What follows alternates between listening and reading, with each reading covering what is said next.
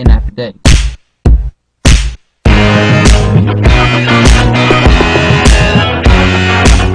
is my boyfriend.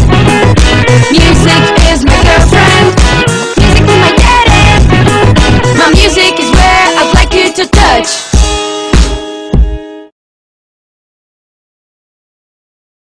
Hey guys, AnAppADay here, and today we'll be reviewing the app Sketchbook Mobile.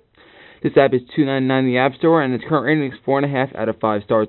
Welcome to Sketchbook Mobile. Do you want to take the quick tour? Let's skip it. Uh, let's just say, before I start this, let me just give it really what it's used for. This is like the Photoshop of the iPod. It's the best, like, photo like not photography, but like image editing, painting software I've seen, like the best app I've seen so far. Um, it's made by Autodesk. They're a very popular company for designing and stuff. And um, yeah. So start off the app. You just have a white canvas. Click this little circle down here. This is your menu tool. So here you go. You have all your tools and stuff. Let's just start off by going one by one. You have pencil tool. So we just draw, and there we go. Is just a normal pencil tool.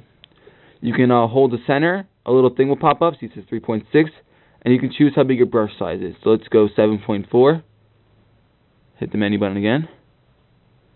And there we go, bigger size now. Um, next we can do the spray paint can.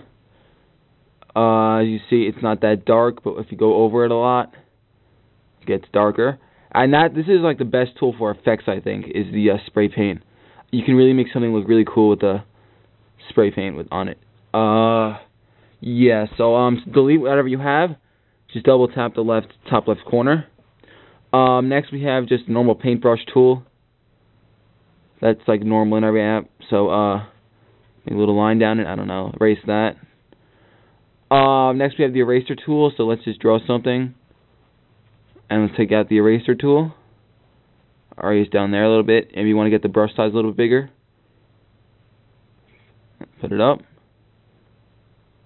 And there you go. Just delete some stuff. Um, yeah. If you click this bottom one, this takes you to the brush menu and uh, hit brushes. These are all the brushes they have. Um, these are your menu brushes that um, open up when you hit the menu, and these are other ones down here. And if you double tap on one, it gives you a preview what it looks like on top. So um, that one, this. Let's take this one in. You can also edit the brush, the radius, the min max, the um. See that one? Oh, let's go down. That looks cool like that. Uh, opacity, let's turn that down a little bit. And actually, let's turn the spacing up a bit too. Actually, put it down. That looks pretty cool. So now you just hit back. Now you'll be able to draw like that, which I think is really cool. That little style. I might try to save that one. So double tap the left top left corner to uh, erase it. Back to the menu. Now you have layers. So um, let me just draw something like a little face. And uh, let's go to the layers. Come on. And here, layer one. Click this uh, little add button to add new layer. Layer two now. And now you see you have this one, and you can also import from your photo library. See, I'm not going to do that. Um, this little eye thing. You can hide the layer. So you can hide layer one. Go to layer two. Uh, it'll hide it. I guess draw something. I don't know what you would draw. Um, go back, layer. Um, put layer one as seeable. So now you have them both layers, and now you can also merge them. Merge, and there you go. Now the layers are merged. But um, that looks ugly. I don't really want that. So um, now you have the color palette tool. Um, you can choose a color from here, or you can go into the color wheel. Hold on. Come on. Alright, cool. Wheel. Now let's pick a, actually let's pick an orange. A lighter orange. And there it shows your previous color with your new color.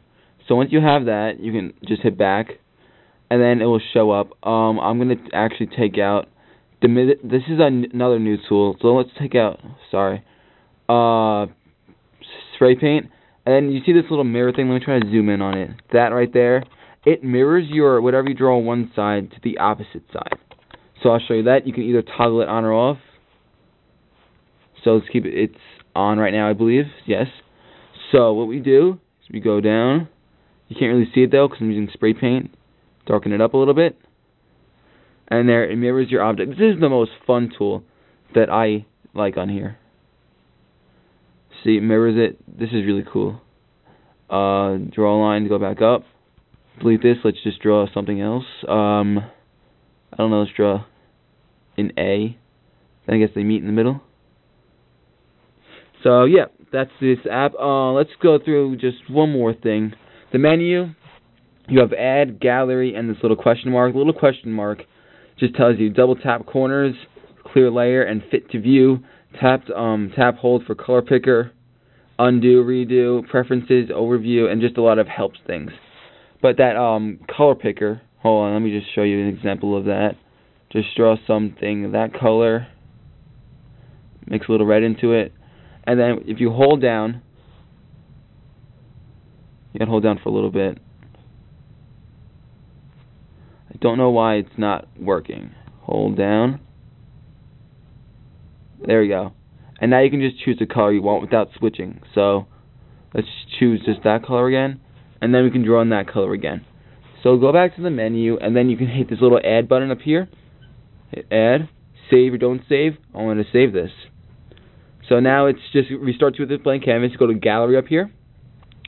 Then I have all my saved photos. So this is one I did, which I think was pretty cool.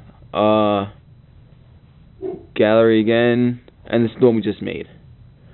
So then, uh, I don't know if they're actually saved to your photos, like your Photos app, but uh, yeah, you can easily just take a screenshot of it if you want it as your background.